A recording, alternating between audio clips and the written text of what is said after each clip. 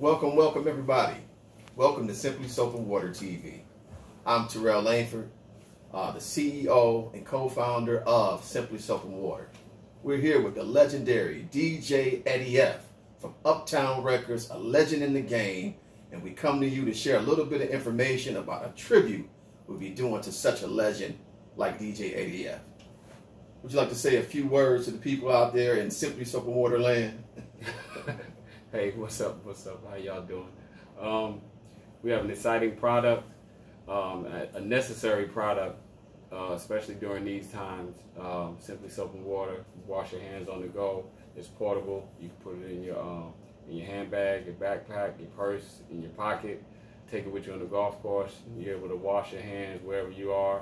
Uh, which is one of the main things that you can do to fight spread of germs, fight uh, COVID infection and then we have the perfect product for you to do that. Definitely.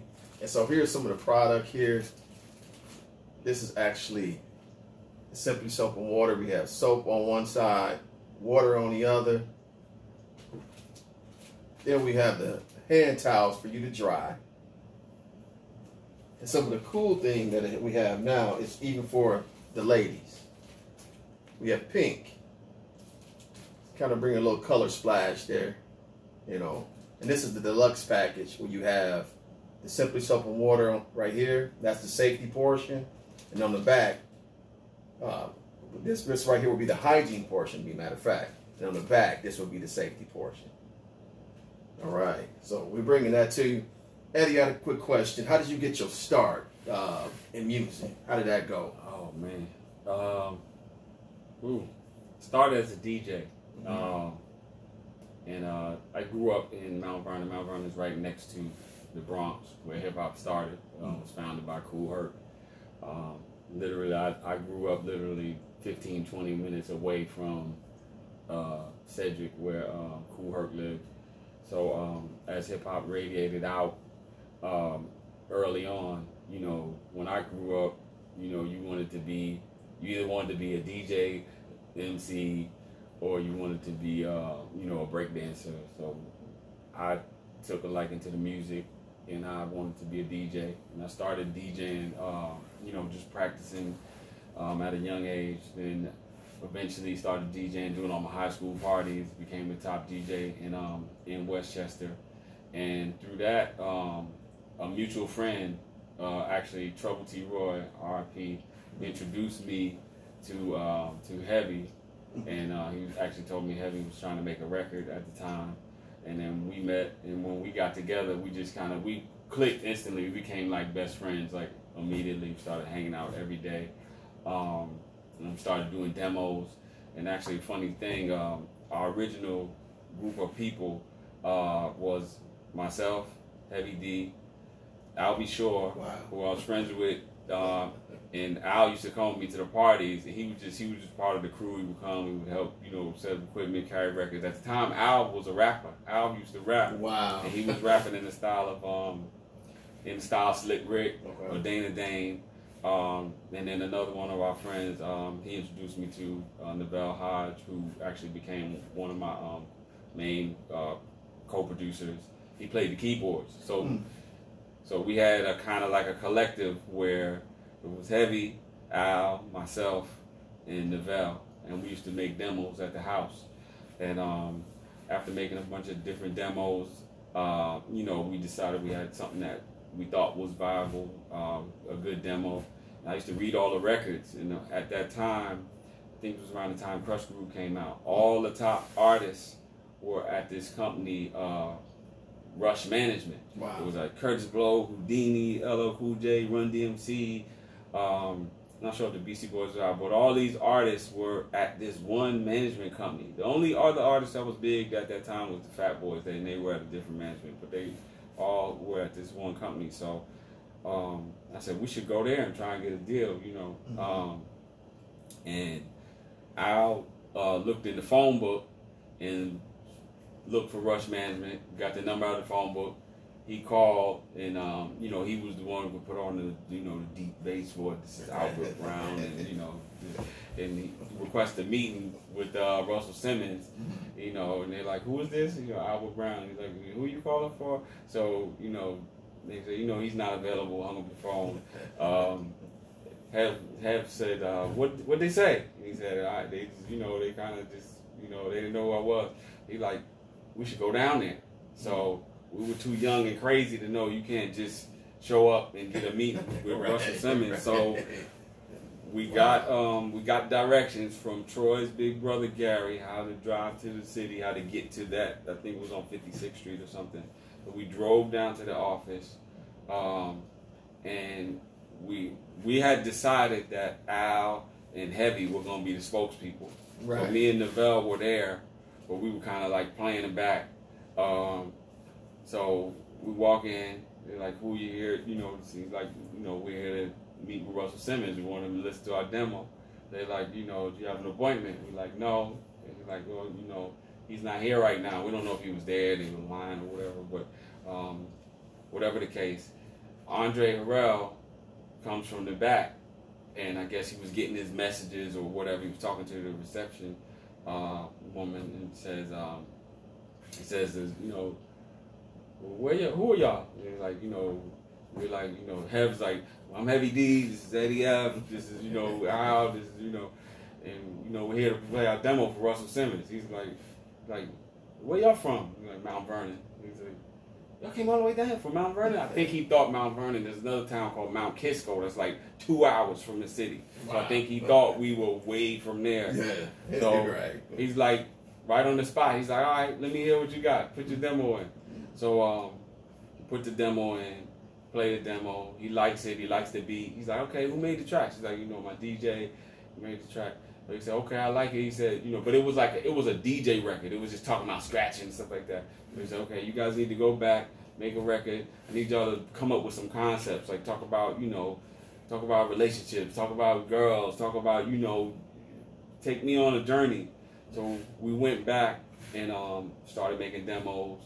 And um, Heavy would call every day. And, you know, Heavy would call every day, try and get Andre on the phone.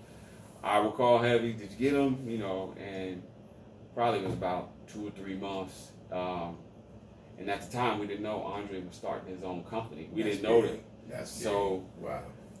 uh, one day, Heavy says, I spoke to Andre. He wants to sign us to his new label. Um, and his new label was Uptown Records. That's when we did the compilation. We were all on the compilation. Our single became the first single off the compilation, which I actually um, did the drum ta- tracks and co-produced. Uptown's Kicking It was the lead single with all of us on it. Um, I was co-producer on that. I did the drum tracks on that, and um, that's what launched the company, launched our career. And my, I'm the original college dropout.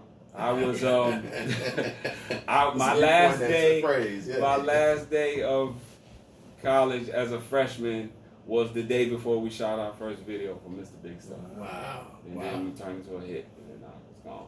Man, that's huge. You hear that? Simply Soap and Waterland. This is the essence of hip hop. Getting the story, they put in the work, um, understanding their craft, and, and, and they went out and believed in themselves and they went after their dreams. A group of friends just coming together in collaboration. So that's some tidbits. You, you, you know, you got some uh, a collective of friends out there. Y'all get together, believe in yourself, and go after your dreams, and you can make a huge impact uh, such as uh, Eddie F. Uh, another question I want to ask: uh, In Living Color, how did that come together? Um, man, you know what's funny? Nobody. I don't think I've ever been asked that question, and it's actually an interesting story. Because that's huge. It's huge. That's such a legendary show that everybody loves. So check this out. Nobody knows this funny man, and this is actually a great. Exclusive, everybody. Exclusive. So, Heavy was friends with Eddie Murphy.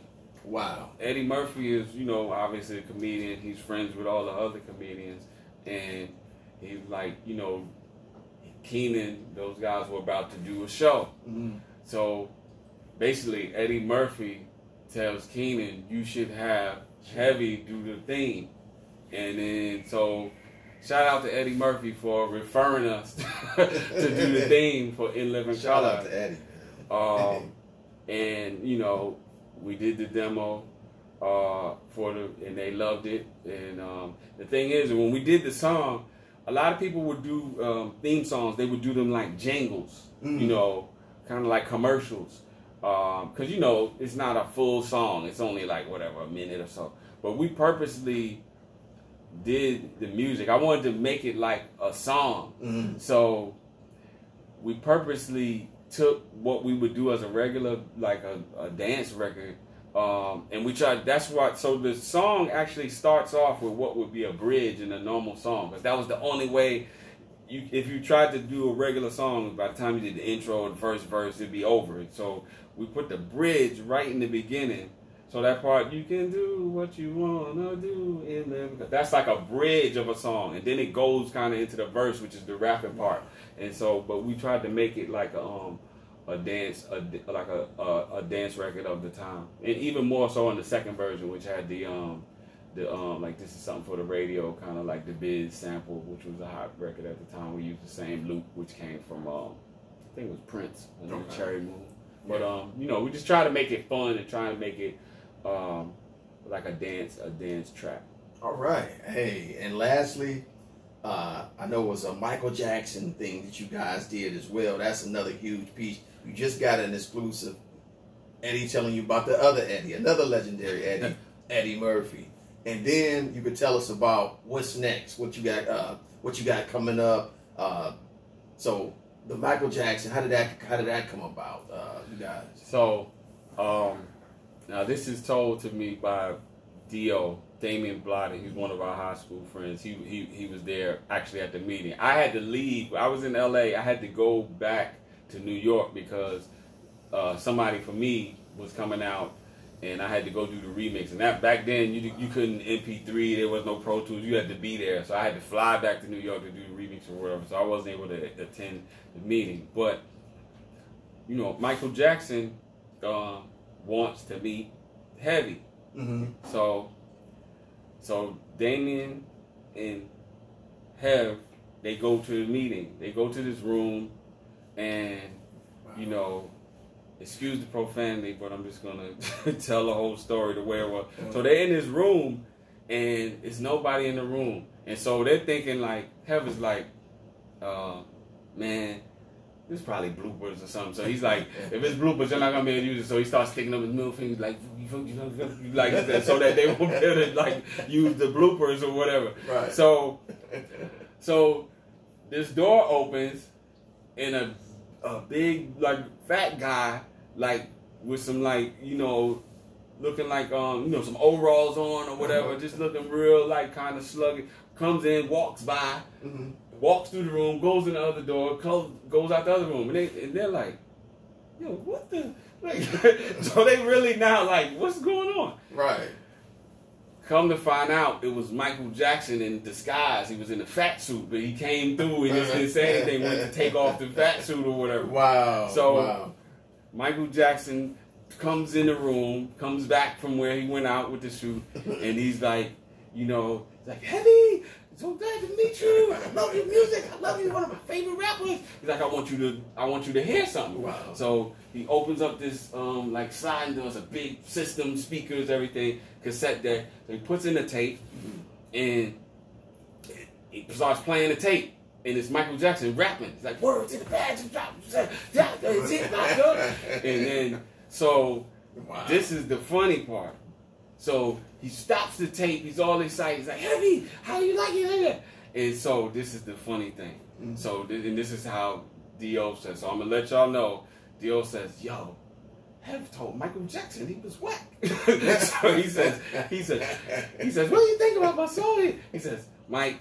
That's whack. You shouldn't be rapping. These rappers to the to the rappers. You used to sing. He's like, yo, I'm gonna fix you. Like, yo, I'm gonna put you with you know, all my producers, Teddy Riley, DJ Eddie F, Marley Marl, and he's like, but don't rap, don't no more rap, no more rap. And so and then the Dio's there like, oh shit, I can't believe that Hev told Michael Jackson Right, right, whack. right. So so anyway, long story short, um, that's how the whole you know Teddy thing, and I know there's some other people that also were pushing Teddy. So I don't know if it's all just Hev, but I know he was one of the first people that actually told Michael Jackson to use Hev, um, Hev that he he should use Teddy, and you know, and after that Mhm. he did the record with with uh, Mike, and it's funny. I think um, I want to say, oh, they brought Shakim to the video shoot Okay. for Jam, right? Right. And Shakim had on a Naughty by Nature shirt or Naughty by Nature jacket. What? So- Michael Jackson sees the thing, no, and says, "Oh man, Naughty by Nature, that's one of my favorite groups." So Shakim gets on the phone. It's like, "Yo, Kane Treach, yo, y'all get out here in the next flight." So they flies them out, and that's how they ended up in the video. They're also in the video. And then when you think about it, OPP is using uh, what you call them uh, ABC. Jackson, Yeah, so wow. he probably was a, a fan of um, of the song and the group, and so it's a lot of history there, man. And then after that, obviously, then you know, superstar sister Janet also Right. had Hev on the song too. Um, Hev was actually the first rapper that was on Michael Jackson and Janet Jackson. Now, he might be the only one that did both. Right. Right. So Wow. Hey, y'all got an exclusive right there. Simply and Water TV. That's big. Exclusive coming. So, what's up next? What we got going on next, uh, Eddie? Um, man, it's a lot, lot going on. I mean, we got the, um, you know, we got the products, we got Simply Soap and Water. You know, uh, you know, if, uh, for a lot of people don't know, um, you know, I'm also into, um, you know, I'm doing healthcare consulting. Um, I'm actually, um, believe it or not, I'm actually a certified HIPAA compliance officer. Um, I've been consulting as a CTO for a medical group for the last uh, five years or so. Um, and that's one of you know I'm still doing music. I'm still Mhm. making music. Right, I'm about to put out um, some records now. Uh, project um, DJ Eddie F presents, and uh, I have a few artists that I'm working with. Um, also doing some stuff in the tech space. Okay. You know, just getting those um getting those you know those seven streams of income going. that's you know, best way. so it's um there's a lot of things coming. Um, you know, obviously a lot of changes, a lot of things with um with COVID 2020 and a lot of lot of, you know, disruption. Um, but I I have some things that um you know, thankfully I was I was somewhat uh you know, I was already kind of working remotely, working from home, a lot of um stuff online. Mhm. So I was able to, you know, to transition um, into, you know, where we are now. But um, a lot of exciting projects coming up. Hey, that sounds very, very awesome. A lot of great things coming up from Eddie F. This was simply Soap and Soap Water uh, TV here. Uh, what can they? What can you be reached at? Uh, you got an Instagram or Twitter? Yeah, you can um, reach me on Instagram and Twitter, uh, everything. Facebook is all um, at DJ Eddie F, DJ E D D I E F, and you can get me um, everywhere. Uh, all the social media, I'm on the same handle, DJ Eddie F. All right, signing off. Simply Water TV. Thank you.